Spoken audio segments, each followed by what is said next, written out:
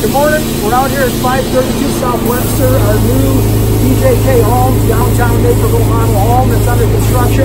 Today we're starting here on our insulation process.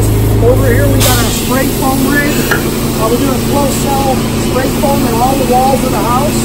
Uh, inside the home here, we've got the guys started. This home is going to be a LEED certified home and a net zero energy ready home as well.